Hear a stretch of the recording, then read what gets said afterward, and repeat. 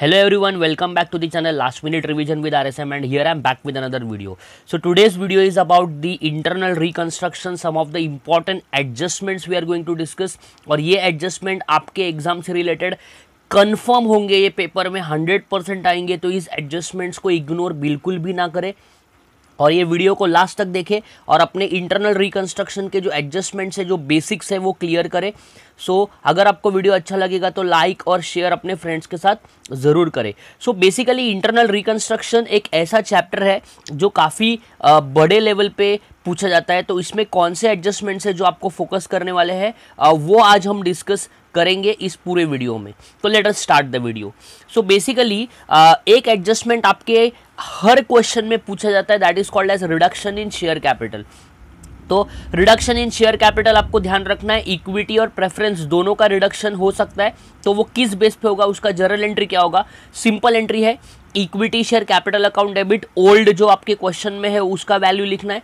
To equity share capital new जो value converted है, वो लिखना है। और to C R C R refers to capital reduction account तो ये एंट्री आपको ध्यान में रखना है कि जब भी इक्विटी का रिडक्शन आएगा, जब भी प्रेफरेंस का रिडक्शन होगा, तब प्रेफरेंस आएगा। Entry in the both cases will be same only we will replace the word equity with preference तो ये आपको ध्यान में रखना है। ये आपके पेपर में हंड्रेड परसेंट पूछा जाएगा। Reduction in the share capital इसमें एक और एक कंसेप्ट है, जिसमें कभी कभी क्या होता है कि फेस वैल्यू रिमेन अनचेंज ऐसा हमें एडजस्टमेंट में दिया होता है।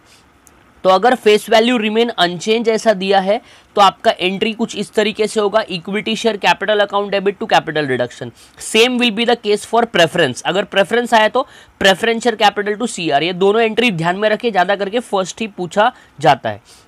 सेकेंड जो एडजस्टमेंट्स है, जो आपके रिलेटेड इंपॉर्टेंट है दैट इज़ डिबेंचर्स सेटल तो डिबेंचर्स के ऊपर सेटलमेंट का एडजस्टमेंट हमेशा पूछा गया है तो सेटलमेंट में आपको ध्यान रखना है कि अगर आप डिबेंचर होल्डर्स को कैश दोगे तो आपको एंट्री करना है डिबेंचर होल्डर्स टू बैंक अगर आप डिबेंचर होल्डर्स को डिबेंचर्स दोगे तो आपको डिबेंचर्स भी क्रेडिट करना है. अगर हम डिबेंचर होल्डर्स को इक्विटी देंगे तो इक्विटी भी क्रेडिट हो सकता है प्रेफरेंस भी क्रेडिट हो सकता है.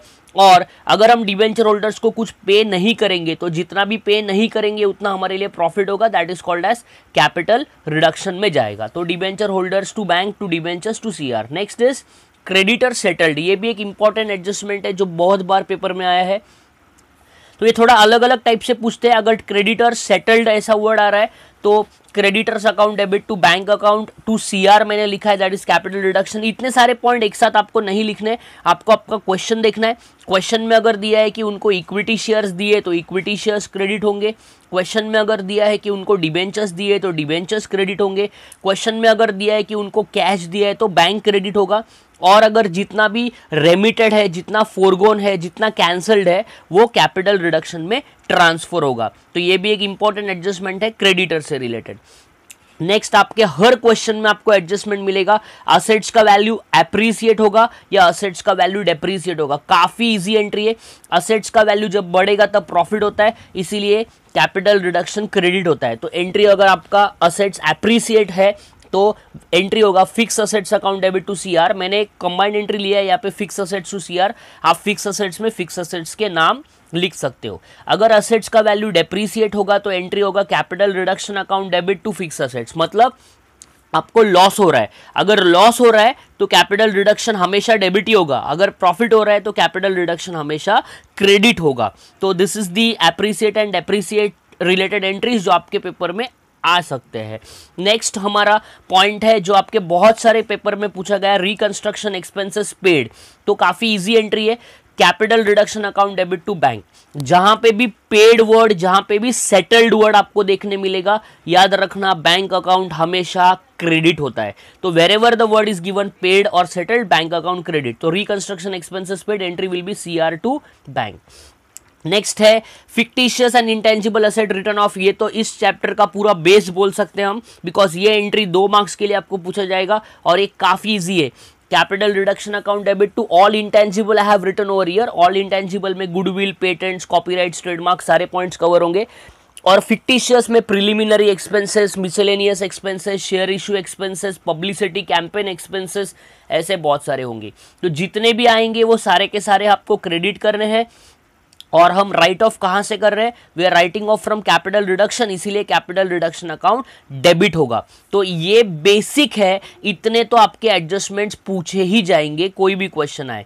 एक इंटरनल रिकंस्ट्रक्शन के ऊपर मैंने फुल वीडियो बनाया है, जहाँ पे हमने इंटरनल रिकंस्ट्रक्शन के बेसिक्स जहाँ पे हमने इंटरनल रिकंस्ट्रक्शन को याद रखने के तरीके, जो जर्नल एंट्रीज है, उसको आप किस तरीके से याद रख सकते हो? सारे डिटेल्स मैंने उस वीडियो में डाले हैं। तो सिंस ये चैप्टर 20 मार्क्स का इस बार पूछा जाएगा तो आपको ये चैप्टर बिल्कुल भी इग्नोर नहीं करना है। इंटरनल रिकंस्ट्रक्शन में किस तरीके से क्वेश्चंस पूछे जा सकते हैं? इंटरनल रिकंस्ट्रक्शन के एंट्रीज को आप किस तरीके से याद रख सकते हैं? सारे डिटेल्स मैंने आ, एक वीडियो में डाले हैं। वो वीडियो का लिंक मैं डिस्क्रिप्शन में दे रहा हूँ तो आप वो डिस्क्रिप्शन से लिंक चेक करें और अपने इंटरनल रिकंस्ट्रक्शन के बेसिक्स जो है वो आप और अच्छी तरीके से क्लियर कर सकते हैं। Since from this time you have twenty marks question and for twenty marks question you will be आक्स journal entries they can also focus on ledger account of capital reduction with balance sheet तो अगर ये तीनों चीज़ें पूछेगी तो काफ़ी lengthy question हो जाता है। तो इसीलिए आपको ध्यान में रखना है बेसिक इस चैप्टर का अगर कुछ है वो है जर्नल एंट्रीज वो सारे डिटेल्स मैंने एक वीडियो में डाले हैं तो आप वीडियो को हंड्रेड परसेंट चेक कर सकते हैं और आपको उससे बेनिफिट मिलेगा। That's it